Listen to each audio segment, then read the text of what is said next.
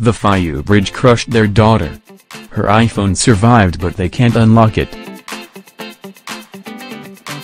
Miami, tucked away inside a white, weather dresser rests a brown, crumpled paper bag.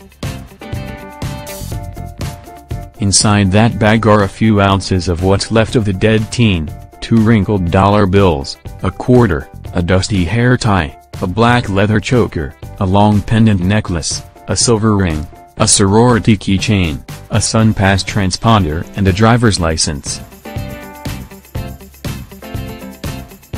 This is what they handed to me, whispered Gina Duran, angry tears dribbling down her cheek. The mourning mother held the chalky items up into the light.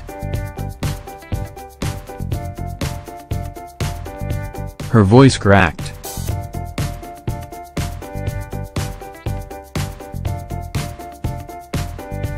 They handed me my daughter in a freaking paper bag.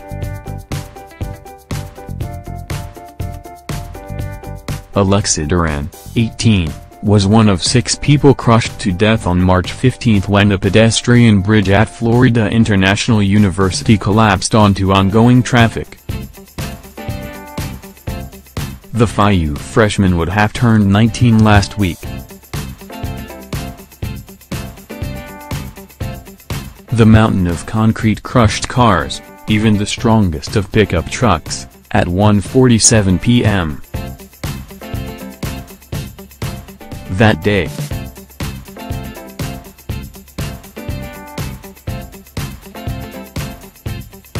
Alexa, who was driving her father's Toyota 4Runner, was going east on Tamiami Trail and was on her way to drop off a dear friend at home. In an instant, the bridge, which was still under construction, caved, mangling the SUV. Footage shows a yellow school bus halting just moments before the disaster. Dozens climbed out of their cars and dashed toward the rubble as dust and crumbled concrete drifted through the air. An immense slab fell diagonally, almost precisely, onto the driver's side of Alex's vehicle. The passenger, FIU student Richard Humble, was spared. It was as if God chose my daughter that day, Gina said. As the public waits for answers on what happened, at the same time government agencies are staunching the flow of vital information, the Duran family is busy fighting to preserve her memory with one other salvaged possession, Alex's unscathed iPhone.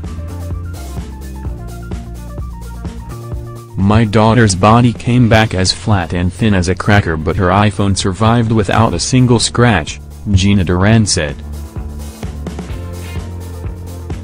The family's quest to live out their daughter's last days and find closure in the wake of the teen's death hasn't come without major obstacles, specifically Alex's password, which was her thumbprint. As a backup, Alexa armed her cell with a six-digit PIN code. About a dozen friends and family members have tried to guess it and had no success. As a last resort, relatives have attempted to figure out her Apple ID password. Could it be her dog's name, Lola? No. Her favorite food? No.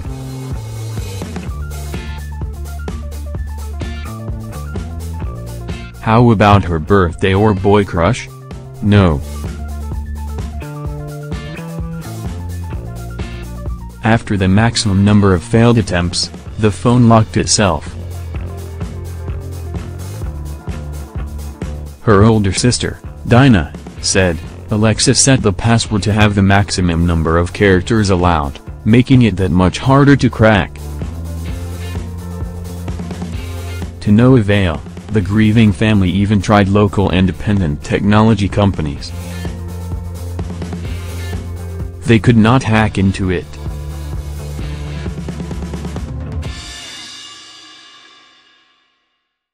Apple requires a court order, a death certificate and proof of him being trustee of Alex's estate, an exhausting process the Duran family is currently navigating. Apple has no way to unlock phones because it doesn't store passcodes, thumbprint or face recognition data, according to the company. However, with a court order, it can access whatever the user uploaded to his or her iCloud. They said they would call me back but they haven't, Gina Duran said.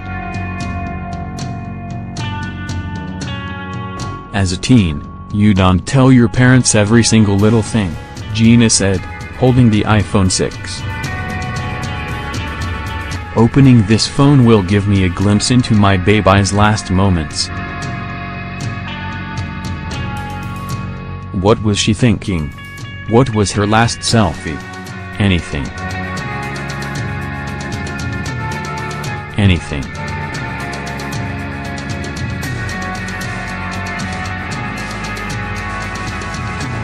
The Miami Herald contacted Apple directly, but the company would not elaborate on its policies regarding iCloud and Apple ID ownership after death, and referred to its privacy policy online.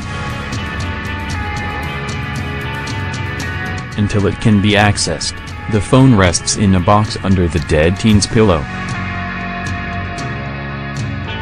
Her parents are afraid that further fiddling with it will erase the data. I can't lose it.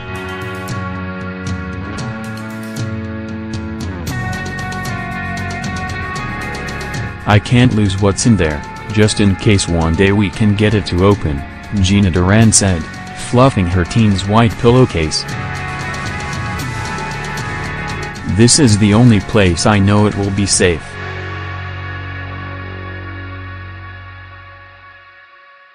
Since his daughter's death, Orlando Duran can only cope by sending his pumpkin text messages. Almost every day, the teen's most trusted secret keeper sent her a brief note. Three days after the collapse, Alex's body was finally identified and she was officially pronounced to be dead. Bye, my little girl, I will send you another message tomorrow hoping you might answer. One text from her father read. I'm sitting here with mom drinking and thinking about you without saying a word. We love you and miss you, read another.